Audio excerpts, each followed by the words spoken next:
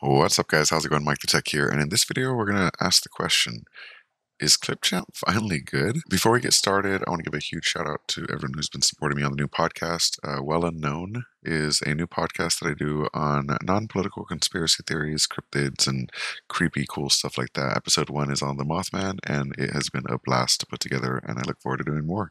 Um, I'm excited about the reception and uh, the feedback I've been getting, so be sure to check it out if you're into that kind of thing.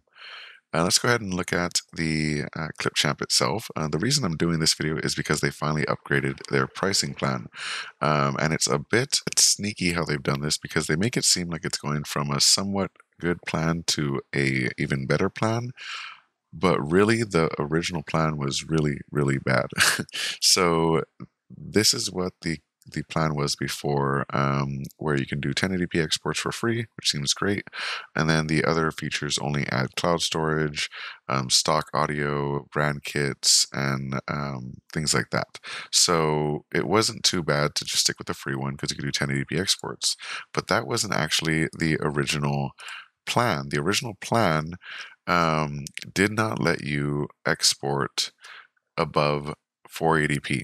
So if you wanted to export 1080p without a watermark, you actually had to have the higher end plan, so you had to pay for it regardless. Now, considering that a lot of other video editors do cost money, that seems, I guess, all right. But for something that's going to be bundled with Windows, it just doesn't seem appropriate to have those level of restrictions on something that should be at least usable to create 1080p video. Um, so they listened to everyone and realized that that's probably what needs to happen, and they upgraded the plan to this. It is now unlimited 1080p exports without watermarks, um, free audio, image, and video stock, and free filters and effects, and it's absolutely free.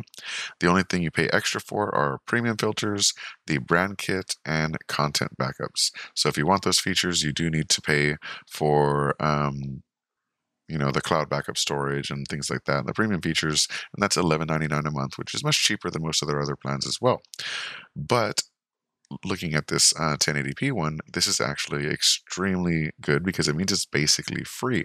As long as you don't use any other premium filters and effects, and you stick to your own content like you would with any other video editor, um, and they do have some good filters and effects built in, you're basically able to use the program for free for most of your video editing needs as long as you're not doing 4K.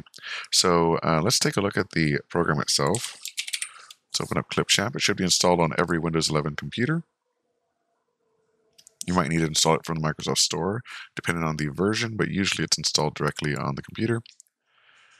And once it loads up, you're going to log in with your uh, Microsoft account, and that's the only way to get the new plan. You can't log in with the other accounts.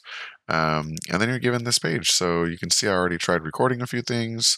Um, I had uh, my webcam on, as well as the uh, podcast in the background. I was playing GTA 5 over here, and you can see my uh, camera right there.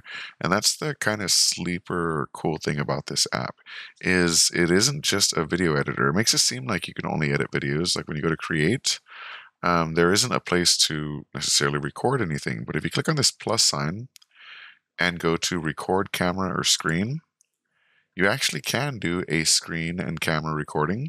You can do just the camera, you can do just the screen, and you can even do text to speech. And text to speech is actually really, really good. Um, you can even choose different dialects and languages. So um, that's kind of a cool feature to be able to add things into your videos last minute.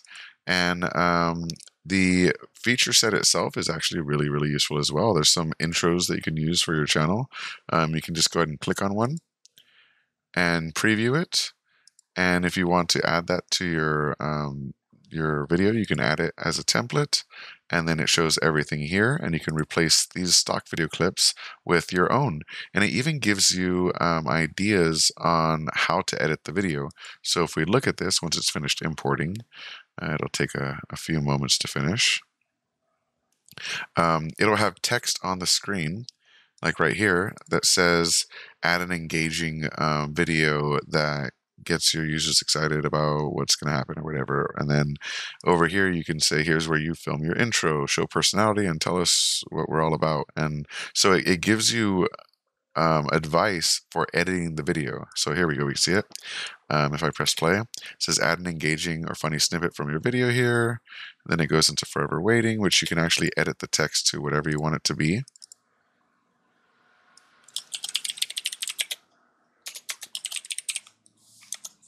Starting soon. And then that says starting soon. And it works just like that. And it says here's where you film your intro, show personality, tell us what we're all about to watch, encourage us to engage with your channel. We added some icons for you to make um, these pop up when you're telling us to subscribe. So you can have that icon right there.